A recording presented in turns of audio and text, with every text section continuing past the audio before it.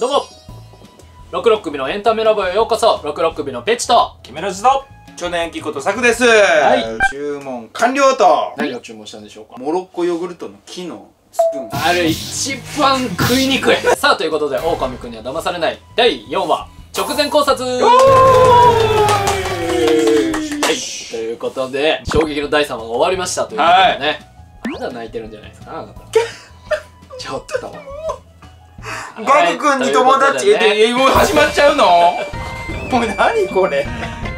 はい、ということで、狼くんには騙されないは毎週日曜夜10時から放送されている恋愛リアリティショーでございまして、僕たちの動画はその翌日月曜日の朝9時半にですね、直後考察として動画を上げておりまして、その直後考察についたコメントをまとめて再考察した直前再考察動画というのを放送前日の土曜日に上げておりますのでね、楽しんでいただけたらと思います。そしてですね、僕たちは他の活動もやっておりましてですね、僕は個人チャンネルという形でですね、4畳半で同棲している様子を上げております狭いじゃないか 毎回初見のリアクションありがとう、そして280万人の TikToker もいますしに27人20 27万人ね。はい。探すなよ。それはすじゃ 下げるなよ。む すごいなこいつはいということでそちらもねぜひ見ていただいて、僕らのことも好きになっていただければと思います、はい。ということで本日も始めていきましょう。かはい。はい。第3話についてはですね、えー直後考察でいろいろ触れておりますのでね、うん。誰が怪しいとかどのシーンが良かったとか、はい。ね、このシーンキュンキュンだったとかいろいろ触れててまたすごく面白い回になってるってうん。個人的には思ってるので、うんはいぜひそちらを見ていただければと思います。ます。ということであの皆様からもらったコメントをねたくさん読んでいこうかなと思います。いいじゃないでしょうか。はいいろいろ読んでいきたいと思います。ということでまずはよしきくんからいきますいやかもう。よしき一般よ。すごく頑張ってましたけどもいねややっぱ皆さんの反応も上々でしょう。よしきからしたらね。前も言ったけどさ年下の戦い方してたよね。いやちゃんと自分のうん。なんだろう立ち位置を分かってる。った上での戦い方だね。うん。ということでね、うん。頑張ってくれた YOSHIKI がですね、まあ結果的には瞳に選ばれなかったということで、うん。まあだからこそねやっぱ狼っていうのは追ってる時は目立たないから、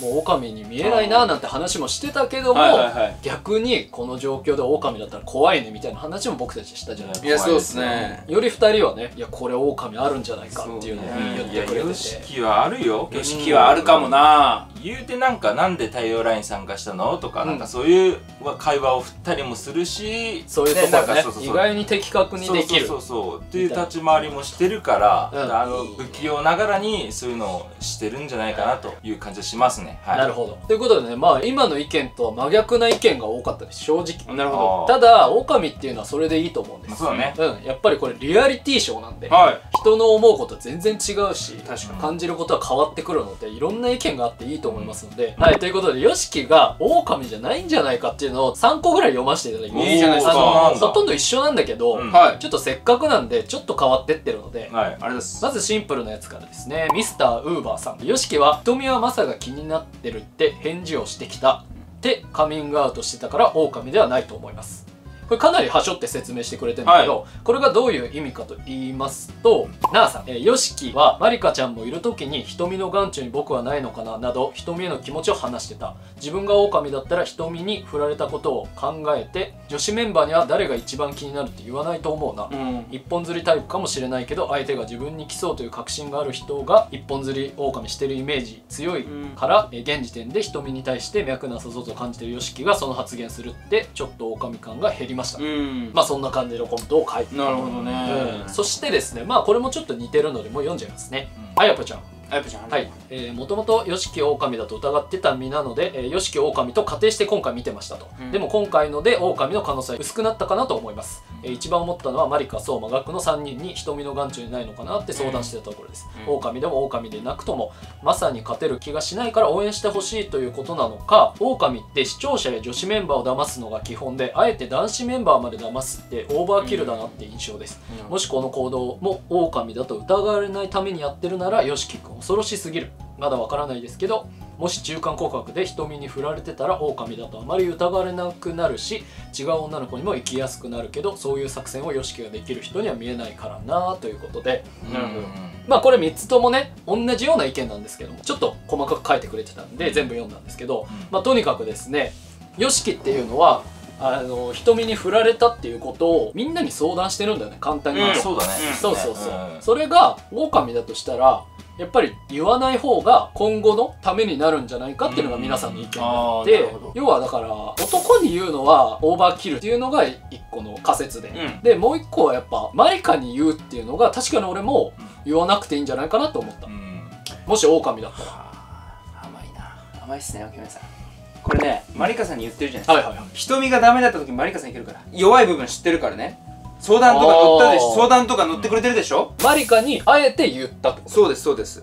あの場あの場所にね男相馬とガクと、えー、まあ当本人のヨシキ。で女の子はマリカしかいない、はいここのマリカだけが良かったんですよ。マリカだけがいるっていう状況が素晴らしく良くて。うん。そこに他の女の子がいたらそのヨシキが瞳にダメだったっていうことをこう知られてるじゃないですか。その知られてるというかその相談を知ってるのがマリカしかいない状況でしょ今。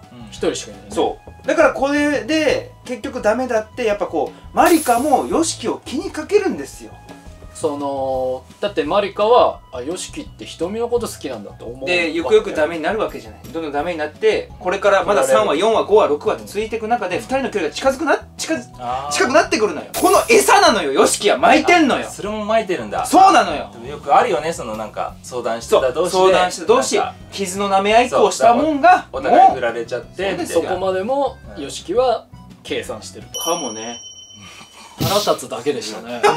そのすごいすごくないよね。まあでもまあ分かんなくはないな。いや俺ヨシキまあ確かになんだろう無関心が一番良くないっていうのはよく言うじゃん。うん。だからそのそうなんですよ。ヨシキはこういう人っていうのを分かってた方が、うん。マリカもいろんな感情が湧いてくまあるといううそだよね。か、うん。振られちゃったんだとかね。男って強い部分を見せたいけど弱い部分を見せてんですよ。でマリカはそれを知ってるんでしょ唯一あの女子メンバーの中でそしたらマリカもこうヨシキを気にかけます。はい。ちょっと出てくるみたいなことか。で正直今のところマリカもそんな人気がないんですよ。まあまあ正直そうね。そうね。ちょっと入れてない感じがする。よね、でここもし繋がったら騙されますねマリカね。騙されますヨシキは和音です。豪華和音。風船ドンあるよなケメラジヨシキ。めっちゃ歩きよしてきたちょっと皆さんまあだからそこでまでヨシキはやってる説ってこと、まあ裏です。でもなんかなんだろう計算うーんなんだろうな難しいなちょっと違うよここの意見、うんそう俺はねあんまりそこまで計算され尽くしてないなとも思うん。だよ、うん。結果的にさくが言ったようにうまくそうなってるけはいど、そうでもやっぱあんまりそんな計算高くできないから、うん。もうナチュラルでなるほど。行動をして、うん。ナチュラルまあ、にちょっとがなんかそうちょっとでも考えてはいるよ。考えてはいるけど、はいまあたどたどしくは全てなっちゃってるっていう感じでなるほど。そう俺はそっちの感じかな。なるほどもう作画のはもう本当に頭良くて、演技もできて、はい。全て計算の計算。狼ヨシキ狼ヨシキうん。最高峰。ちょっとナチュラルでそう。でも結果的にうまくいってるそう。狼ヨシキっそうそうそう。ていうのが2人の意見ってことだようんね、そうだね。うんだなるほど。そういやいいとどっちにして思うもやっぱ YOSHIKI はちょっとねうん。いやヨシキはねみんなねは思うんだよね。あんまりちょこっう上辺だけで見えん方がいいっすよ。騙されますよ。なんだ知り合いなの？ヨシキの？なんだろう今日いやはすごく。ちょっとヨシキがすここの1週間であった？違いますよ。別に会ってないけどさ会って。ヨシキヨシキ言ってるから皆さんが。ああまあね。やっぱ感動するとか、うん。頑張ってほしいとか、あまあね。幸せになってほしい。いやそういうとこ見るもんじゃないんだよ狼は。あら狼探さないと。ヨシキがどっちなのか。まあそうね。そこ注目ですね。どっちにしろ注目ですね。はい。ねはい。ということで YOSHIKI は？こういうね討論ができたということでいいんじゃないでしょうか、うん。ということで次はですねまあガクくんですかね次は。はい。あガクくんのコメントをちょっと何個か読んでいきたいと思います、はい。まずですね前回の直後考察見てくれた方は分かると思うんですが、えーオープニングの一瞬見える画像について、うん。えー差し込まれた人の顔の画像についてコメントいただいたので、えー読んでいきたいと思うんですが、はい。まあ簡単に言いますと前回の3話に関しては相馬だったことが完全に判明しております、はい。そして2話に関しては誰か分からないぞってことを僕たちも言ってて、ででも相馬か。YOSHIKI なんじゃないか。そう。ここまではなんとなく多分そうだと思いますみたいな形でうんあとはチームロフロックに任せたっていうね。丸そうそう。投げしたね。分担作業なんでこういうのね、まあ。編集は僕たちでやってるんでこういうのは分担作業ということで。にな匂わすねそんな本当に。すみません、ね。分担作業ということでやっていただいたということでそれについてねいろいろコメントがあって。ありがとうございます。ありがとうございます。正直ちょっと分かれてます。なるほど。あのコメントとかであれやっぱ YOSHIKI なんじゃないですか。とはい。あ私も相馬に見えますね。なるほど。うんがあったけど結局一番これがぽいなっていうのが今から読むやつです。ありがとうごっていうのがタッツさん。出た。FBI 立つ FBI 立つ、えー YouTube に載ってる方の2話を0.25倍速で見たところオープニングのウルフイズはガクです。ガ仮面の位置やほくろ髪の毛などを男子メンバー紹介シーンと照らし合わせた結果似たような位置関係になるのはガクでした。なるほど。まあ、ウルフイズは毎回変わるんですかね、ということで、うんはい、こんなコメントいただいてですね。であのわざわざですねツイッターで画像も送っていただいてそうなんだ。あこれ貼っちゃいますか。使わせていただきます。まあまあこれをね送っていただいたんです。どすげえなすごいなこれ。ということでわざわざ作っていただいてやっぱりね僕たちもここまで行ったんだよね、うん。あのオープニングのあのミュージックビデオのシーンと同じようなのがあるんじゃないかってとこまで行ったんだけどこう色を変えたりここまでやってもらうと確かにガクだね。ね。髪の毛の感じ、うん。まあ一緒ですからね。このシーンもね、うん。そうなんですオープニングの紹介シーンとね。で3話の相馬も一緒でした、なるほど、うん。ということで学説がかなり濃厚ですね。まあ2話は額でしょうね、まあまあまあこれはもうこうやって調べていただいたなら。まあとなると大事なのはやっぱり4話ということになりますね2話3話は学と相馬だったってことなんで次もどっちかだったらかなり二押し、まあうん。っていうことになってくるね。これでカイトとかになってくると、まあもう,、まあもう全員出るあんま注目しないでいいのかなっていうことにはなる。うん。全員ね、はい。うん今の時点ではやっぱ学相馬っていうのがちょっとね目星つけといてもいいのかなっていうのはあるね。はい、ということで、あとはですね、ガク君のその性格的なところについてですね、はい。やっぱり前回ですね、ちょっと上からものを言ううん。ガク君っていうのも見えたじゃない。俺様的なね、俺様的なノリですよね。はい。そんなに別に嫌な感じじゃなかったけも全然あのかっこいい人だからこそできるできる。あの雰囲気。ただ僕たち的には1話2話はそこまでそういう姿見せてないよ。うん。っていうのが疑問に思ってたと。うんうんその時点でもうそういうあらすじをガクは作ってて、うん。徐々にできるようになっていくっていうあらすじをガク君は自分で作ってるんじゃないかみたいなことを僕たちで言ってたと、うん。それについて教えてくれた人がいます。はい。カフェオレさん。カフェオレさん、美味しい、うん。まだガクを狼だって思ってる人は仮面ライダーのイベントやメイキング見てるとわかるけどマジでチワを見たいだからおどおど自己肯定低い人間だから言葉よく詰まってるから。インスタではそう見えないみたいな人いるけど実際言葉を発するよりも文字の方が落ち着いて話せる人いるよね。そういうタイプの人なんだよ。逆にこれは頑張ってる方よガク君。なるほど。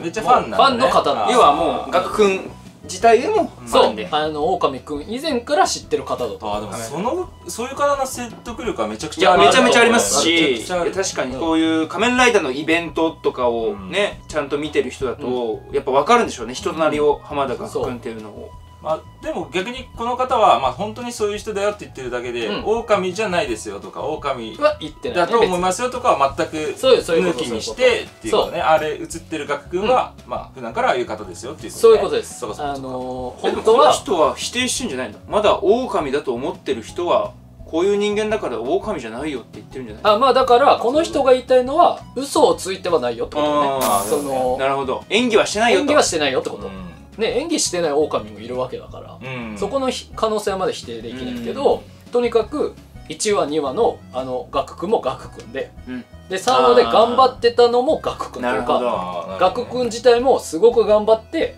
ノアちゃんにアピールしてたってことがあ分かったかなって感じよね。まあでも普段のガク君を演じてるガク君かもしんないけどね。ああそうだねなるほど。でも俺も思うんだけど逆に自分たちが狼だった時に別にさなんて言うんだろう。最初からさ全てを演じる必要はないじゃん。ない。うんね普通にナチュラルに言って、うん。そうね。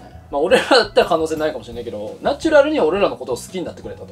俺らだったらって言った時俺とケメロジを指さしたけどね。自分はこうやってないけど俺と俺は無理だな。ねうん俺はそう思ってるるそう思ってる。だからそう思ってんのかいナチュラルに自分のことを好きになってったら、ナチュラルな自分として狼ができるわけでしょ。